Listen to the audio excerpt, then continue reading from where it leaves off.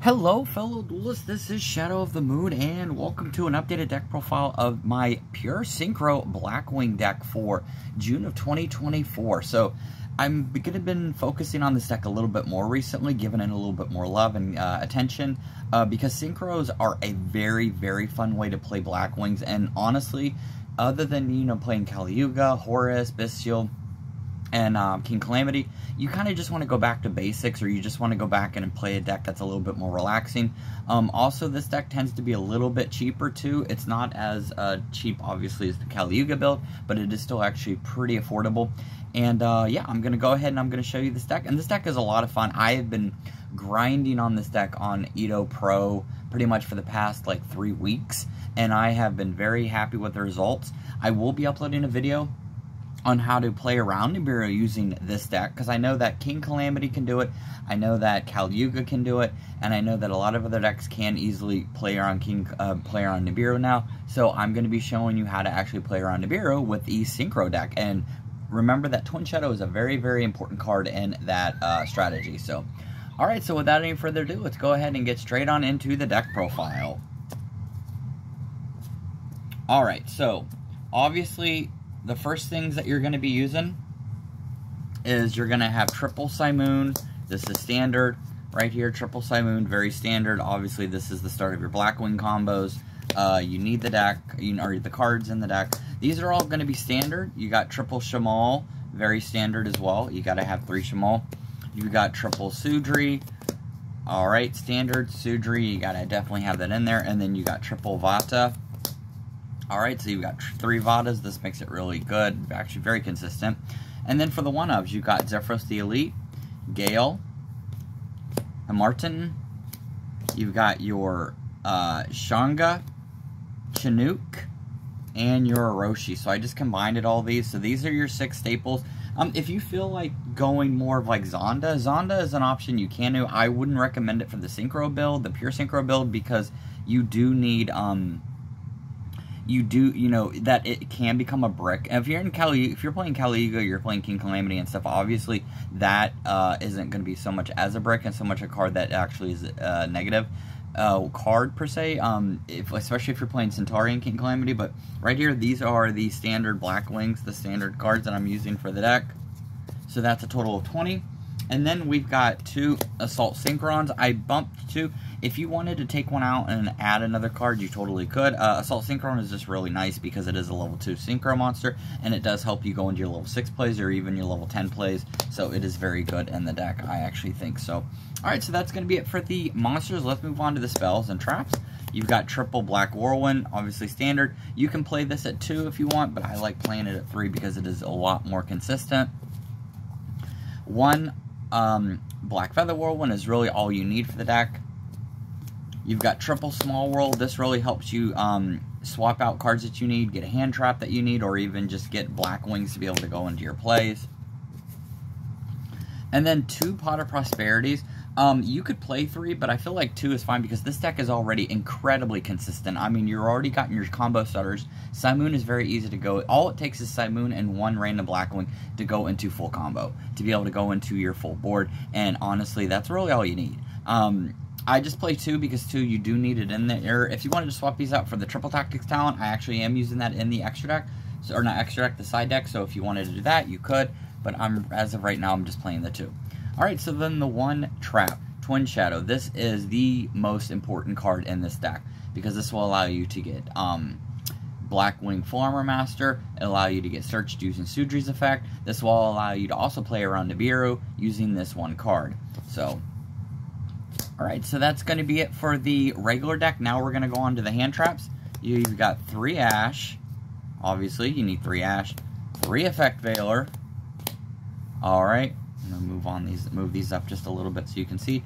And three Impermanents. So a total of nine hand traps, and then Call by the Grave. So this is going to take a total of 10, because Call by the Grave is actually very useful. It is even more useful than ever now because of the uh, current meta and current the fire the uh, Fire King right now, not Fire King, the Snake Eyes, because Snake Eye is a very you know obviously one uh, the last YCS Indy and still kind of like, you know, it being a tier zero format, it's not fun to play against. But, you know, at the same time, you know, what are you going to do? At least, you know, I'm playing the deck that I love. So, all right, so that's going to be it for the main deck. Let's move on to the extra deck.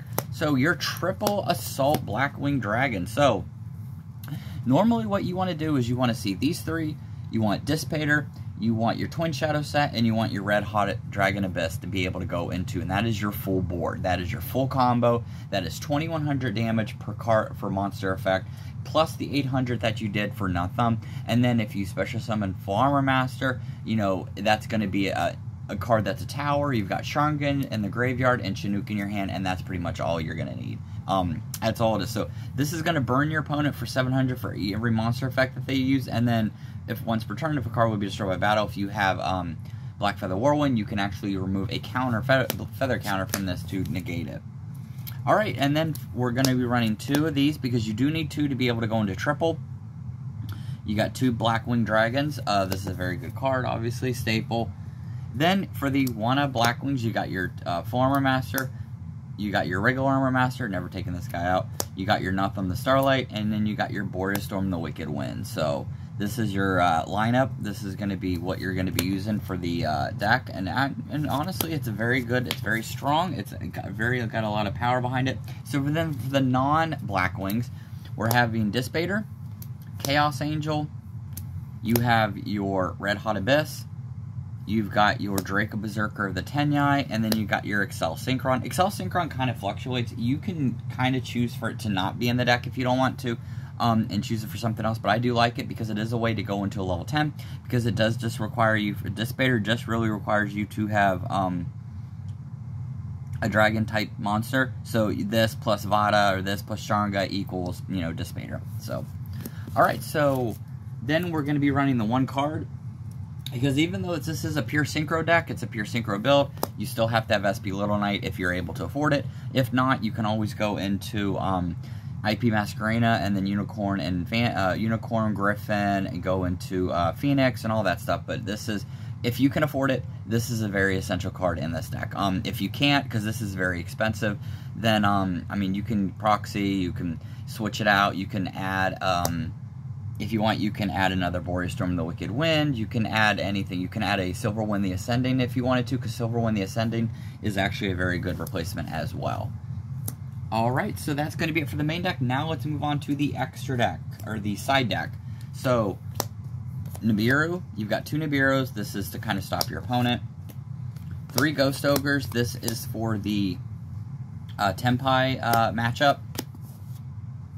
You've got two Battle Faders. This is kind of like my nifty little tech card. So you got two Battle Faders. So what this does is it's a very old card. It's from 5Ds. It's from 2010, and it actually prevents your opponent. It stops the battle phase. Um, as soon as the monster declares attack, it stops the battle phase. So if you have this and you side decked it and you have it in your hand, you can just play it.